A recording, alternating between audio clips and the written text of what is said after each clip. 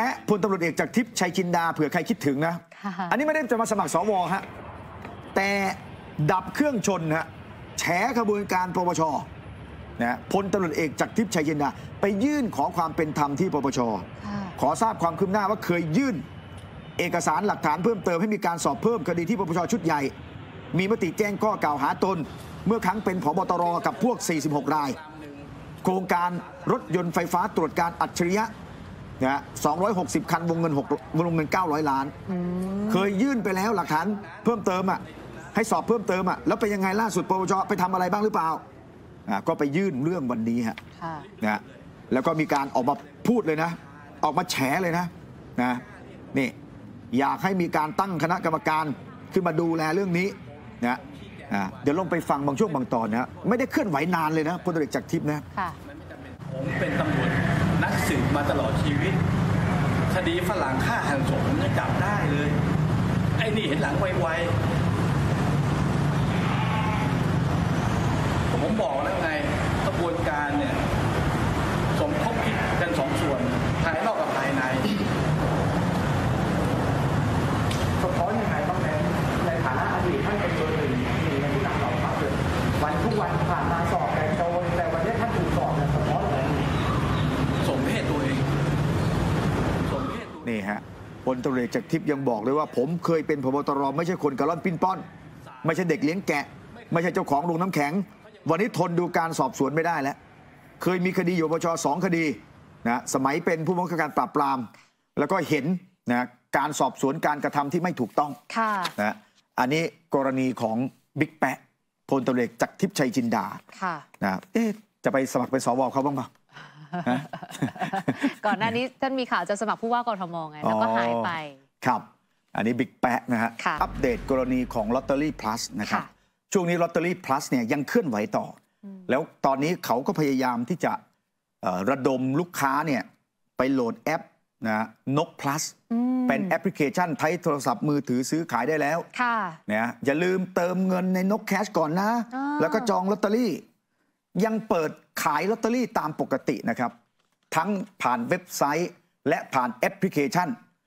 ทั้งทั้งที่ 17 พฤษภาคม รัฐมนตรีประเสริฐจันทรรวงทอง เปิดเผยว่าศาลมีคำสั่งปิดลอตเตอรี่พลัสแล้วก็ได้มีการเตือนพี่น้องประชาชนว่า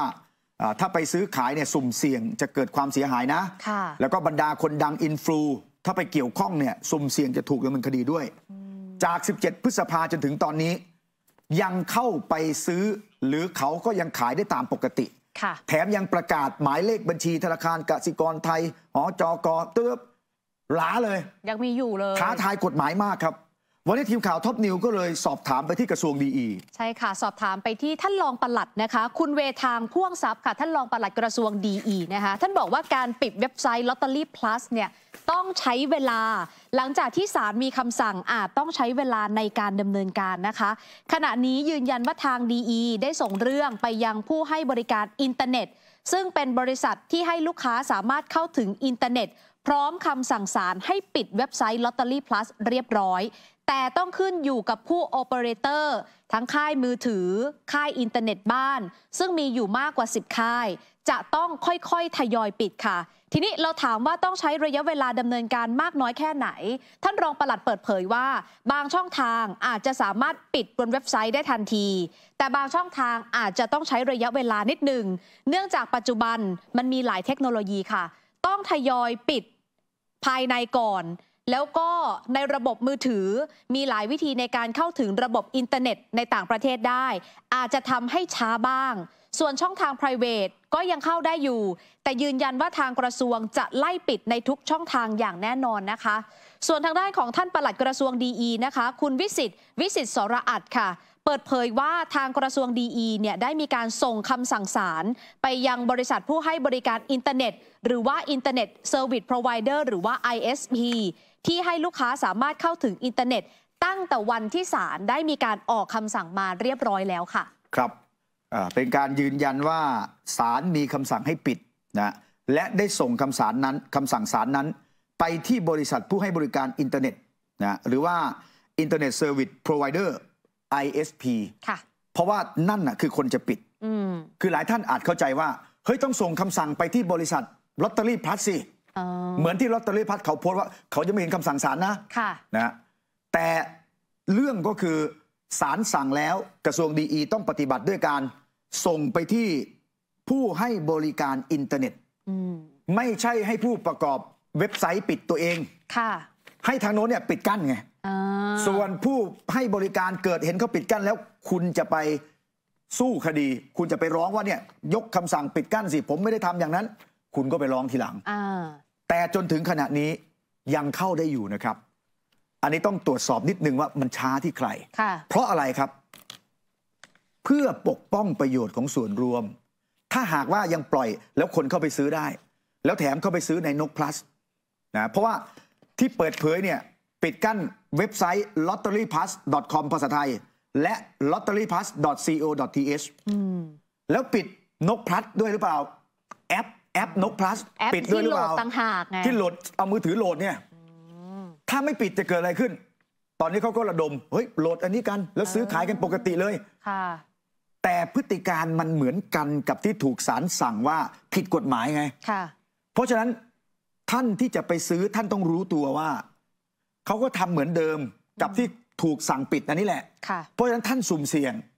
เกิดท่านตามไปเล่น แล้วเขาปิดทีเนี้ยแล้วเงินเติมเข้าไปแล้วนะในนกแคชอะเออทำยังไงล่ะลอตเตอรี่ก็ซื้อไปแล้วนะค่ะ แต่ตัวเองไม่ได้ตัวจริงมาไง ตัวจริงอยู่ที่เขาไงค่ะ ท่านมีความเสี่ยงนะครับเออใช่เราไม่ได้เป็นใบๆมาเนาะเพราะฉะนั้นจะบอกว่ากระทรวง DE ไม่แจ้งไม่ได้อืมเราก็พยายามจะบอกกล่าว ข้อมูลที่ภาครัฐเปิดเผยออกมา ก็เพื่อปกป้องประโยชน์ของท่านเอง ส่วนถ้าท่านอยากจะซื้อลอตเตอรี่ ผ่านออนไลน์ ก็ไปแอปเป๋าตังก็ยังซื้อได้ปกติ นี่แอปเป๋าตังสำหรับผู้ซื้อสลากดิจิตอลนะก็สามารถเข้าไปได้ครับ แล้วช่องทางวิธีการซื้อก็ง่ายนิดเดียวครับ มีให้เลือกบทจะค้นหาตามเลข หรือค้นหาตามหน้าแผงนะจะเลือกเลขไหนนะนี่สามารถเลือกได้หมดฮะเห็นไหมจะค้นจากตัวเลขหรือค้นจากชื่อร้านค้าก็ได้นะ เนี่ยเข้าไปก็เลือกทีละสเต็ปนะสมมติว่าค้นจากตัวเลขค่ะนะก็กดหาตัวเลขเลยอยากได้เลขอะไรเลขเด่นเลขดัง แล้วก็ชำระเงินปกติ แล้วอันเนี้ยชัวร์ไม่มีค่า ที่อ้างว่าเป็นค่าฝากเก็บ 25 บาทไม่มีอืมแล้วไม่ต้องไปกลัวว่าจะถูกปงถูกปิดไม่มี เพราะอันนี้ขายอย่างถูกกฎหมายค่ะเพราะฉะนั้นประโยชน์ของประชาชนไม่ได้เสียหายเลยนะ แต่ที่เสียคือประโยชน์ของเอกชน ที่เขาใช้กลไกทางการตลาดค่ะ ใช้เลขกลทางการตลาด เอาเงินส่วนเกินจาก 85 บาทเนี่ยได้มาจากผู้ซื้อทุกคนนะอืมคนละเท่าไหร่ ก็ 25 บาท25เพราะเขาขาย 105 บาทค่ะนะ25 บาท ทุกคนต้องจ่ายอันนี้ใช่จึงจะซื้อได้ต่อใบนะคะเขาขายงวดละกี่ใบ สมมติว่าเป็นล้าน2ล้านใบอย่างต่ำนะตังต่ำเลยนะอืม50 ล้านบาทสองงวดนะเขาก็เอาเงิน 50 ล้านบาทนี่แหละมาทำการตลาดอืมนะเอาไปจ้างคนดังให้มาโหมกระพือให้ และ เวลาที่เอาไปมอบรางวัลให้คนที่ถูกรางวัลเนี่ยเฮ้ยไม่ต้องจ่ายค่าหักและที่จ่าย ผมออกให้เงินสด